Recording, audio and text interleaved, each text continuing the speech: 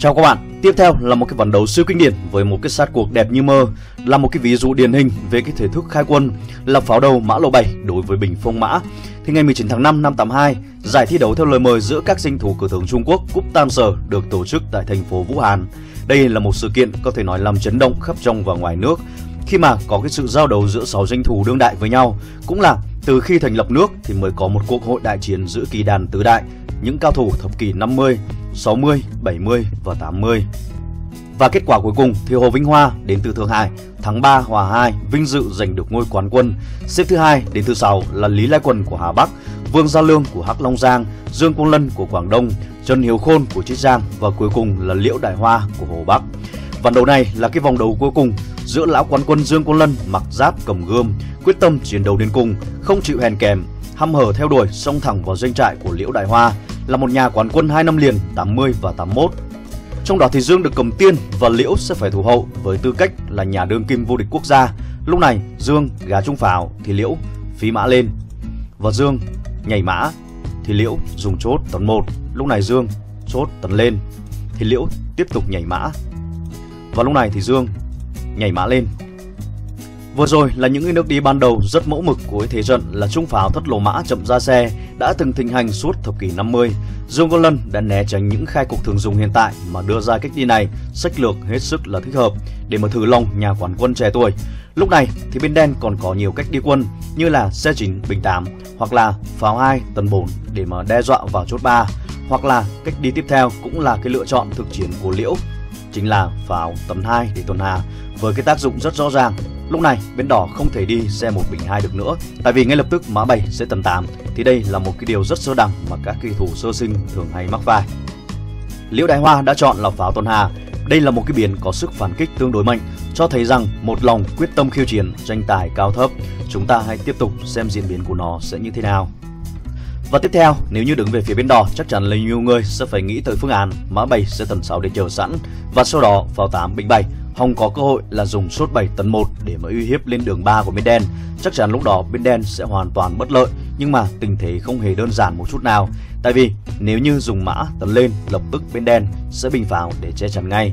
Rõ ràng là hòa lực của bên đỏ sẽ không thể phát huy hết sức mạnh, cho nên dẫn tới một cục thế hòa hoãn và phải kéo dài. Mà đây là một cái điều đi ngược lại với khẩu quyết ban đầu của Dương Quang Lân. Lúc này ông đang còn muốn tốc chiến tốc thẳng đưa vào một cục thế đối công hết sức là quyết liệt. Cho nên tới đây thì ông đã dùng chốt 5 tấn 1 dốc công vào trung lộ, lợi dụng cái tình hình lúc này bên đen đã hoàn toàn chống trải, cho nên lập tức đấm chốt lên, tạo ra một hình trận rất phức tạp mà chúng ta sẽ được chứng kiến sau vài nước nữa thôi. Tiếp theo thì Liễu tiến hành bổ sĩ. Thì Dương nhảy mã lên trung lộ tạo thành cái thế rất quen thuộc vào đầu mã đội và Liễu phi mã lên. Thì lúc này Dương bình pháo với một cái dụng ý hết sức rõ ràng, đang còn phục là dùng chốt 7 tấn 1 để mà uy hiếp lên quân mã lô 3. Lúc này, đang còn tranh thủ cơ hội để chốc pháo. Liệu rằng trong hình cờ này một cái lựa chọn mà chắc chắn nhiều người sẽ phải thoáng qua sông suy nghĩ, tượng 3 tấn 5 có thể hay là không. Hình trận sẽ trở nên vững chắc hơn bao giờ hết. Có thực sự là như vậy?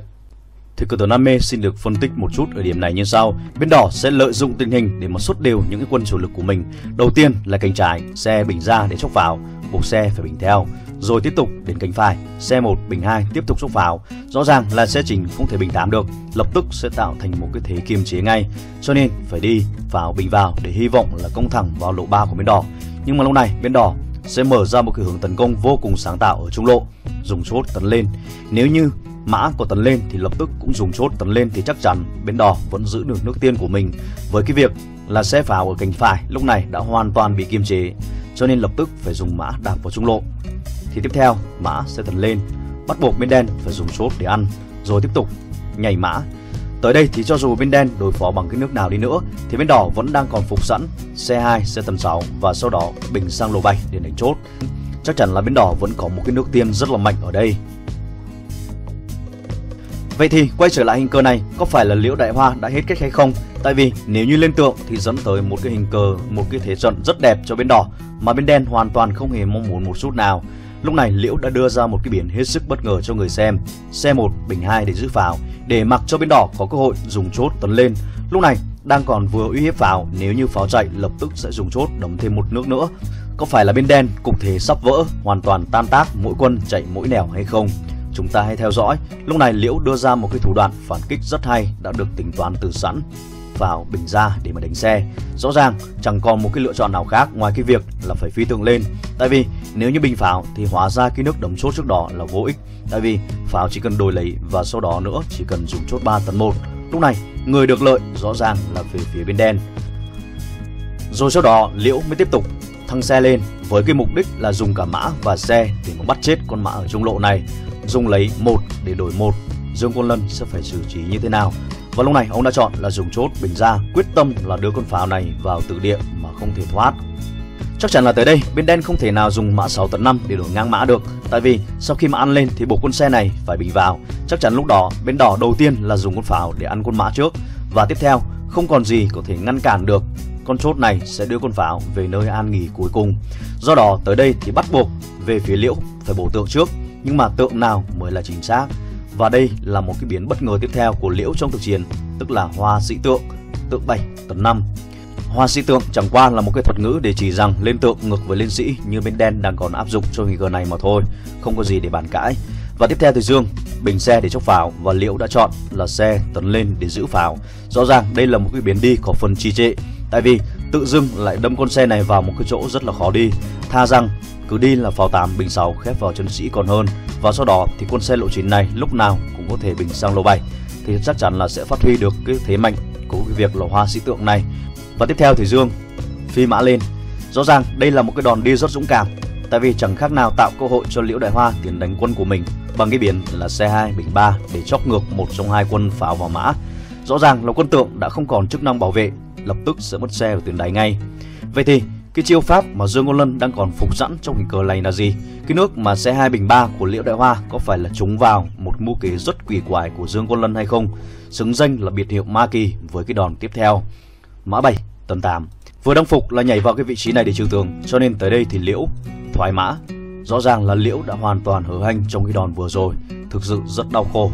Và Dương tiếp tục bổ sĩ lên Vừa đăng phục là bình xe qua để chóc mã trước và sau đó không còn gì có thể ngăn cản được. Mã sẽ tấn vào cái vị trí này để chiếu. Tới đây thì chúng ta một lần nữa thấy được cái sự kém tích cực của cái đòn là xe chỉnh tấn 2 để giữ pháo. Tại vì con pháo này không thể thoái lui một nước để mà giữ cái lộ chiếu được. Nếu như pháo 8 bình 6 thì còn máy ra. Và tiếp theo, lúc này thì Liễu buộc phải thoái mã để mời đổi quân. Thì Dương, bình xe để mà chốc mã. Thì Liễu ngay lập tức dùng mã để khử lấy con mã nguy hiểm này thì Dương đầu tiên là dùng xe để chém mã. vua đăng phục là dùng chốt để ăn một trong hai quân pháo và mã, cho nên tới đây thì Liễu dùng pháo đổi tượng. Và Dương bình pháo ra, dùng xe tấn lên một chém pháo vừa đăng phục là bắt tiếp một trong hai quân pháo vào mã. Vậy thì trong cơn này lợi quân đang thuộc về tay của người nào chúng ta sẽ biết. Tiếp theo thì Dương dùng pháo nổ rốt vừa đăng phục là tấn lên để chiều tường chắc chắn là sẽ tạo được một cái thế tấn công vô cùng nguy hiểm ở đây. Cho nên để mà tránh mất mã và bảo toàn lại cái nước chiều, bắt buộc Liễu phải thoái mã về. Thì ngay lập tức Dương nhảy mã để đánh xe, xe thoái một để chốc ngược lại mã, mã thoái lui tiếp tục đánh xe. Thì Dương tấn xe một để chiều nhằm tranh thủ lấy nước, bục sĩ phải thoái rồi tiếp tục điều quân, dùng pháo bình vào. Đây là một hình trận vô cùng đẹp mắt, bên đỏ đã tạo thành một cái thế bao vây đến tận sở thành của Liễu Đại Hoa. Dương Côn Lân bố trí song xe thành hai thuyền, tạo thành cái thế sừng châu sát cơ bốn phía có sức uy hiếp vô cùng khủng khiếp. Nước đi của lão quán quân rất hùng dũng, hoàng trung không chịu già, uy phong không kém thời sung sức, thực sự là một cái trận chiến rất đáng xem. Nhưng mà cho dù tới đây đi nữa thì cũng hoàn toàn không hề đơn giản Tại vì nếu như các bạn không có kinh nghiệm cực kỳ khó để mà lấy được cái thế tấn công như vũ bão cho cờ này và một cái nước bắt buộc đầu tiên bên đỏ cần phải có chính là tấn xe lên. Mục đích là gì? Là ngăn cản không cho con pháo này có thể thoái một để mà giữ mã. Vừa phục nước tiếp theo là tấn xe lên để mà chốc mã. Lúc này chắc chắn là mở ra một cái thể tấn công vô cùng ác liệt vào cánh phải đã hoàn toàn chống trải mà đen không thể đỡ. Thực sự rất là kinh điển. Và lúc này thì Liễu còn nước, còn tát, thoái xe để bắt chốt và Dương mặc kệ, đầu tiên là tấn xe để mà chốc mã và Liễu tranh thủ cơ hội Xe bình vào diệt trung chốt vừa đang chiều tường, sĩ tấn lên. Và lúc này chuyện diệt đến cũng đã đến, bắt buộc phải nghĩ đến phương án để đối phó lại với cánh phải này. Mã phải tấn 3 vừa chốc vào thì Dương không chút trầm trễ, phi thẳng pháo vào đáy để mà chiều tường. Và đây cũng chính là hình cờ mà tôi đã để sẵn trên trang Facebook của Tường Đam Mê để mà hỏi các bạn rằng liệu rằng trong hình cờ này bên đen có cách nào để mà thoát được nguy hay là không. Và rất nhiều bạn cho rằng bên đen trong hình cờ này nên đi là mã 3 thoái 4 tưởng chừng như rất chắc chắn, nhưng mà liệu rằng có thể hay là không. Tiếp theo, bên đỏ nhảy mã để mà đánh xe. Sau khi nước nhảy mã thần kỳ này của bên đỏ thì chúng ta mới có thể thấy được cục thế đã hoàn toàn ngã ngũ. Cho dù bên đen có hai cách đối phó nhưng mà cực kỳ thảm bại. Diễn biến cụ thể sẽ như sau. Cái bình đầu tiên là xe 5 bình 2. Lúc này bên đỏ bình vào để đánh xe trước, xe bình vào tiếp tục chèn mã thì bên đỏ nhảy mã và đăng phục nước tiếp theo là mã 9 sẽ tầm 8 và sau đó không còn gì có thể ngăn cản được mã 8 tấn bay để tạo sát bằng cái đòn là phế xe. Cho dù là sát cuộc còn tới ba nước, bên đen hoàn toàn có thể thấy rõ, nhưng mà vô phương để mà chống đỡ. Đây là một cái điều cực kỳ thú vị của bộ môn đầy trí tuệ này. Còn cái biến tiếp theo có phần khả quan hơn nhưng mà cũng hoàn toàn không ổn là xe thoái một. Lúc này bên đỏ chỉ cần nhảy mã, vừa đăng phục là đánh tượng, vừa đăng phục là nhảy vào cái lộ 8 và sau đó sẽ tuyệt sát y như biến vừa nãy. Cho nên bắt buộc bên đen phải phi tượng lên. Lúc này bên đỏ có một cái giải pháp rất hay là thoái pháo vừa đang đe dọa là đánh sĩ, chắc chắn là bên đen cũng hoàn toàn lâm nguy, cực kỳ khó để mà tìm ra cái phương án đối phó tối ưu. Cho dù sĩ có tấn lên đi nữa thì cũng không quan trọng, lúc này chỉ cần dùng chốt ăn vào. Chốt tấn lên thì lại tiếp tục nhảy mã, vừa đe dọa là dùng xe tấn một chém mã để tạo giáp bắt buộc sĩ phải thoái. Rồi lúc này chuyện gì đến cũng đã đến, dùng xe chém thẳng vào sĩ, bắt buộc sĩ phải tấn lên rồi tiếp tục dùng xe tấn một để chiều Tới đây, cho dù là pháo của thoại hay là sĩ thoại thì cũng không quan trọng, không còn gì có thể ngăn cản được. Tiếp theo, bên đỏ chỉ cần dùng mã 5 tấn 7 để tạo sát cả.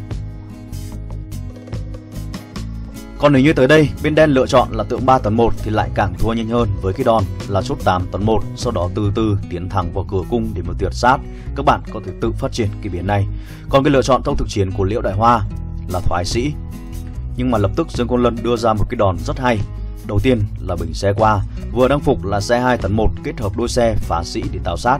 Rõ ràng là đen hoàn toàn không thể đỡ nếu như để cái biến này xảy ra.